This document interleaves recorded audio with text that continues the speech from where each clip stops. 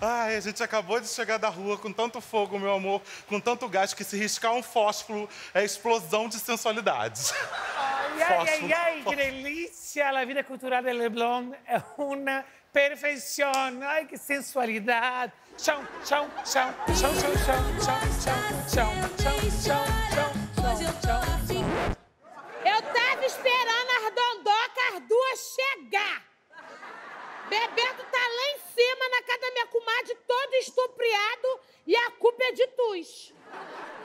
uma miragem. É o Bebeto vestido de Terezinha.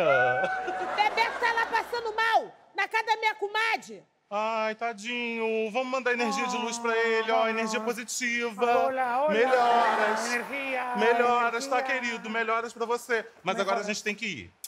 A gente tem que ir porque a gente tem massagem de babosa no cabelo. Vamos. Volta, volta, volta, pode voltar.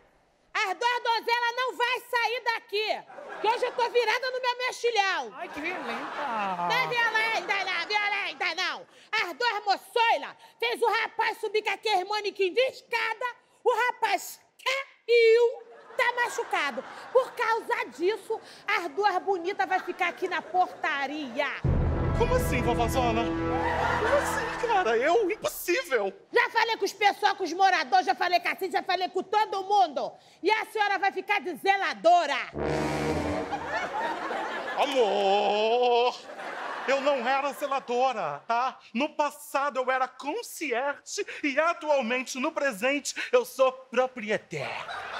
Ô, Teresita, Teresita, eh, não tem outro jeito de resolver esse problema? Ei, boba!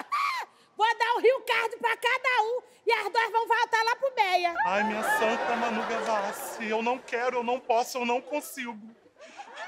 Tá resolvido. A senhora fica de zeladora e a senhorita fica de porteira. Eu de porteira? Não quero, não posso, não consigo. Quem vai ser o quê? Não quero saber. Tá resolvido. Eu, hein? Será?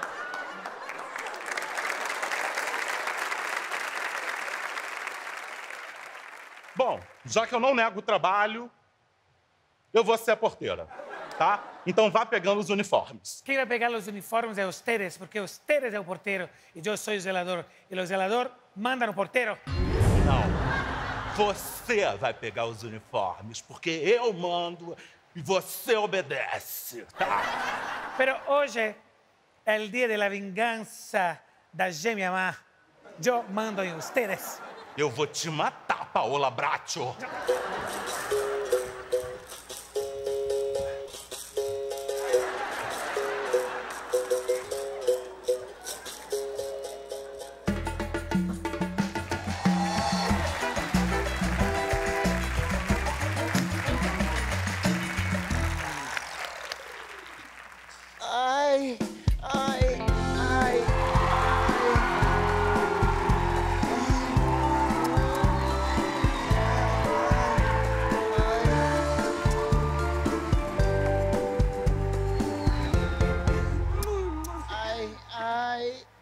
Bebeto. Ai, tô quebrado, dona Jo.